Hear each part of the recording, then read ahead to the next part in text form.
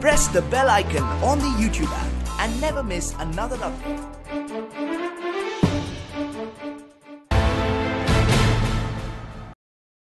नमस्कार, मैं हूँ हनुमान गोयल और आप देख रहे हैं ट्वेंटी लोकसभा चुनाव 2019 नतीजे चौंकाने वाले और चौंकाने वाले भी ऐसे कि प्रधानमंत्री नरेंद्र मोदी एक बार फिर से देश के प्रधानमंत्री बनेंगे वहीं अलवर लोकसभा की तरफ़ अगर नज़र डालें तो बालकनाथ ने ज़बरदस्त जीत हासिल की है। उनकी इस जीत के बाद पूरे ज़िले के अंदर हर्षोल्लास का माहौल है। उनके कार्यकर्ता नाच रहे हैं, कूद रहे हैं। यहाँ तक पटाखे चलना भी शुरू हो गए हैं।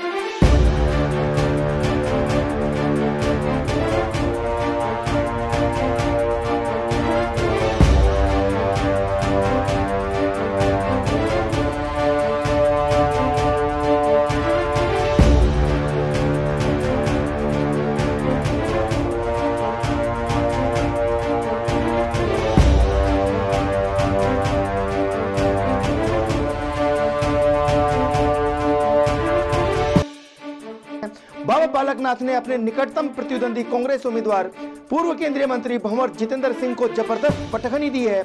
वहीं आपको बता दें, इससे पूर्व भी 2014 के चुनाव में बाबा बालकनाथ के गुरु महंत चांदनाथ योगी ने भी भंवर जितेंद्र सिंह को ज़बरदस्त तरीके से हराया था। और वही इतिहास पुनः दोहराया बाबा बालकनाथ ने।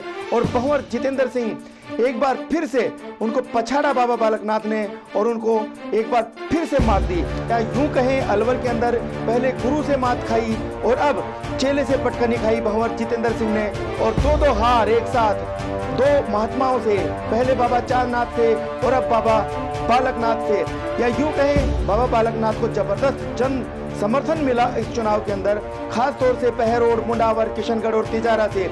या यूँ माने बहरोड में जो वोट प्रतिशत प्रतिशत था आपकी बार, वो ज़बरदस्त था लोकसभा चुनाव के अंदर, और जो यादवों का वोट बैंक था, वो निश्चित रूप से बाबा बालकनाथ की तरफ़ गया। वहीं जहाँ राजगढ़ और लक्ष्मणगढ़ भंवर जितेंद्र सिंह का मज़बूत किला माना जाता था, वो भी ध्वस्त हुआ, क्योंकि अब की बार वहाँ पे वोट प्रतिशत बहुत कम था, और पूरे ज़िले के अंदर जिस तरह का माहौल रहा और जो लोगों से हमने बात की, उसमें यही सामने आया कि एक बार फिर से अब की बार मोदी लहर।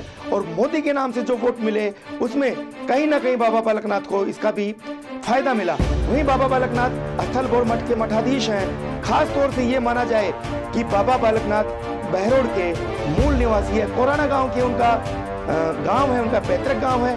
और वो ये भी कहते हैं कि मैं यहाँ का लोकल हूँ अस्थल भोर मठ का निश्चित रूप से वो मठाधीश हैं। बाबा चारना तो योगी के वो चेले थे। वहीं जिस तरह से उनकी जीत का जो समाचार मिले, कार्यकर्ता अचानक झूम उठे। अनुमान पहले से लगाया जा रहा था कि बाबा बालकनाथ अलवर से चुनाव जीतेंगे। भंवर जितेंद्र सिंह को भी उम्मीद थी, लेकिन ये उम्मीद फिर पानी फिर गया, क्योंकि जिस तरह से वोट प्रतिशत रहा राजगढ़ का, और जिस तरह से वोट प्रतिशत रहा बहरोड का, उसमें काफ़ी अंतर रहा। बहरोड में सत्तर बहत्तर प्रतिशत के लगभग वोट पड़े तो राजगढ़ में वोट प्रतिशत बहुत कम पड़ा, और भंवर जितेंद्र सिंह कहीं से भी खास बढ़त नहीं बना पाए। पहले राउंड में निश्चित रूप से भंवर जितेंद्र सिंह थोड़ी सी बढ़त बना पाए थे।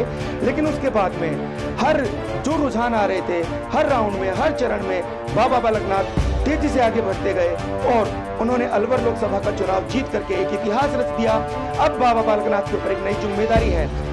हमारे साथ एक बार इंटरव्यू में बाबा बालकनाथ ने कहा था कि वो महंत चारनाथ के अधूरे सपने पूरे करेंगे, क्योंकि वो अपना कार्यकाल पूरा नहीं कर पाए थे और एक कैंसर जैसी बीमारी से पीड़ित होकर के वो इस दुनिया में नहीं रहे थे लोग गमन हो गया उनका। काफ़ी पीड़ित थे बाबा बालकनाथ भी। और जब वो उस गद्दी पर बैठे तो उनका सपना था कि वो बचे हुए काम, अलवर को जो महंत चारनाथ जिस सपने को देख करके चल रहे थे, जो अलवर को बनाना चाहते थे, वो पूरा नहीं कर पाए। उनका भी एक सपना था कि अगर अलवर की जनता ने उनको मौका दिया तो निश्चित रूप से बाबा चांदनाथ जी के अधूरे काम, अधूरे सपने वो पूरा करेंगे और अलवर को देश की एक नई ऊंचाई, नई बुलंदी पर लेकर के जाएँगे। अब निश्चित रूप से बाबा बालकनाथ जिस तरह से जीते हैं, अलवर ज़िले के लोगों की एक अलग संभावनाएँ बनी है कि बाबा बालकनाथ अब अलवर को एक नया आयाम देंगे, नई पहचान देंगे। क्योंकि केंद्र में सरकार जिस तरह से पूर्ण बहुमत में आई है तो लगता है अलवर अब नई बुलंदियाँ छुएगा। हमारी तरफ़ से भी बाबा बालकनाथ को उनके विजयी होने पर ढेर सारी शुभकामनाएँ।